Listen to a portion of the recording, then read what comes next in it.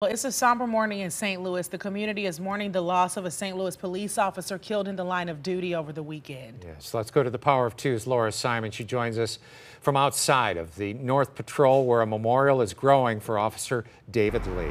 Laura?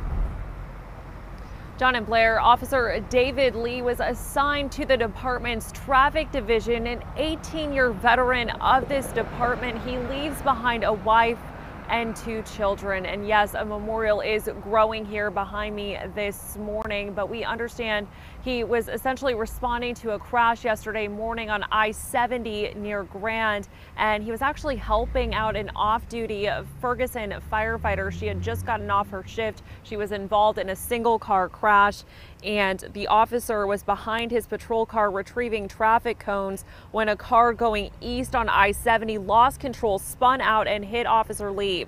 Police Chief Robert Tracy says the off-duty Ferguson firefighter rushed over to help Officer Lee. She got on his radio asking for help. An officer in need call went out. St. Louis firefighters arriving to the crash site and rushing Officer Lee to St. Louis University Hospital. He was taken in for emergency surgery. And the chief says despite every life saving effort, Officer Lee ended up dying while in surgery.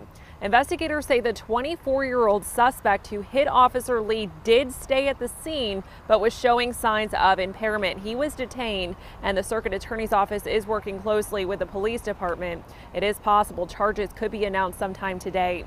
In front of police headquarters yesterday on Olive Street, a procession escorting Lee's body drove by, officers lining the streets to honor their fallen brother. Lee is the 167th officer to die in the line of duty in the department's 200 year history.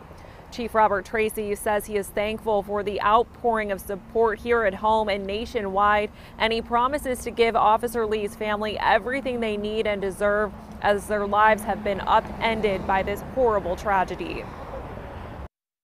We will be by their side, helping in any way we can as they go through their darkest hours. We're devastated.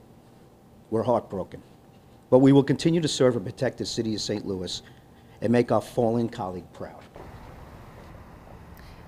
Meantime, the Backstoppers organization, which helps families of fallen and injured first responders, announced they're assisting Officer Lee's family. Executive Director Chief Ron Battelle issuing a statement saying, quote, my heart goes out to the family, friends, and co-workers of Officer David Lee. Officer Lee will forever be honored and remembered as a hero. Please pray for the Lee family, the St. Louis Metropolitan Police Department, and everyone who knew and loved Officer Lee.